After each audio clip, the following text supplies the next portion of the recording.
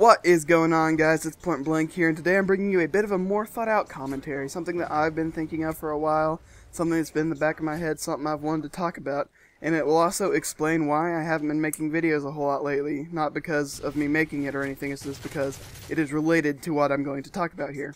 And what I'm going to talk about is the time investment in games. And what I mean by the time investment is pretty much how much time you spend playing a game.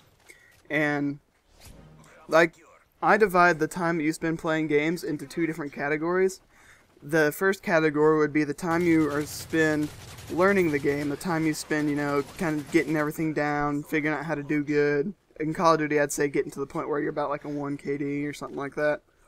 I mean, that's happened. All of us don't deny it. You never started playing COD with a 2.5 KD or anything. But, yeah, and then there's the other time where you are either just playing the game for fun, or if it's single player, you're finishing it, or if it's a multiplayer game, you're constantly improving because I believe that you are constantly improving at a game if you try to play it, you know, at all. But what I'm talking about first is some examples of games like that so you can kind of get in your head what I'm talking about. And something that would be a good example of short and short would be something like a Flash game. Because with Flash games, you know, spend a little bit of time learning it, spend a little bit of time playing it, just goof off in class or something with it. That's really it.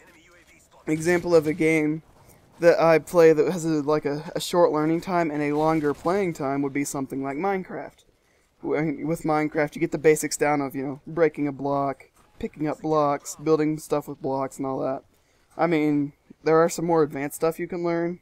Well, are advanced stuff. There is more advanced stuff that you can learn, but I consider that like the getting better or the finishing the game, although I guess you can't really finish Minecraft now, but you can't really, per se, but yeah, that's an example of that. And then I think Call of Duty is somewhere in the medium learning and then long playing, especially if you play it a lot like we do.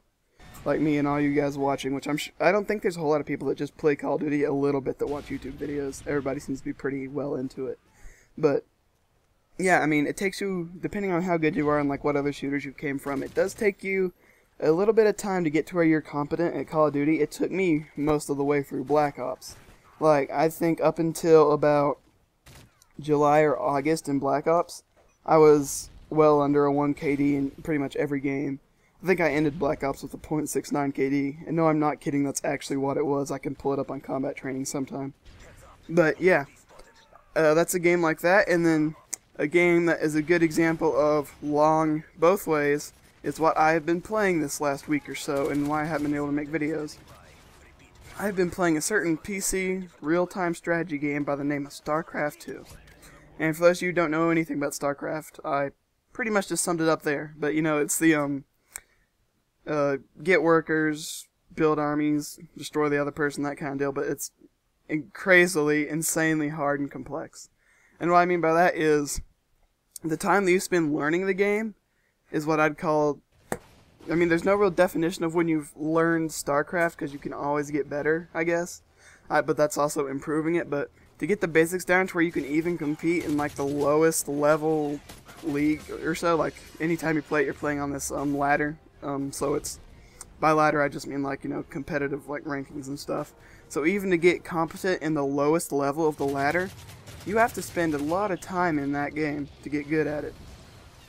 And then, of course, to get to where you're playing it more and having fun with it, even to get to something decent like uh, the, the levels go bronze, silver, gold, platinum, diamond, master, grandmaster. Even to get to like platinum or diamond or something, that takes a lot of time. Like that's a pretty small select group. Uh, I mean, it's not small, but it's a pretty select group. It's a lot of people that have to spend a lot of time in it because a lot of people that play StarCraft will just play StarCraft. That's why I don't know if many of you guys that play Call of Duty played at all because they're both pretty long time investment games. But yeah, that's basically what I've been doing is I've been trying to play StarCraft and that's what that's what made me think of this is because I'm thinking, man, I haven't made a video in a week or so, and that's just because I've been playing another high time investment game. And something I was wanting to do for you guys is to leave you a question: What game have you spent the most time learning, and what game have you spent the most time on altogether? I'll go ahead. I'll go ahead. I'll go ahead and answer those questions and the first thing I'll have to say is the game I've spent the most time learning would actually probably be Call of Duty. I mean, I I know I'm probably going to spend more time at Battlefield if I ever get back to Battlefield 3.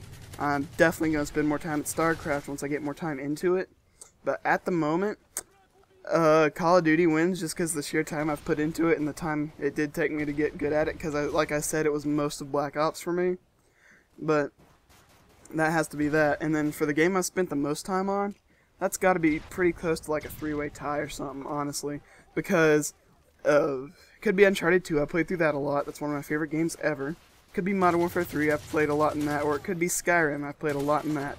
That's the end of the game, guys. I'm gonna go ahead and go with Modern Warfare 3 on mine, but remember, uh, what game did you take the longest time to learn, and what game have you played the most?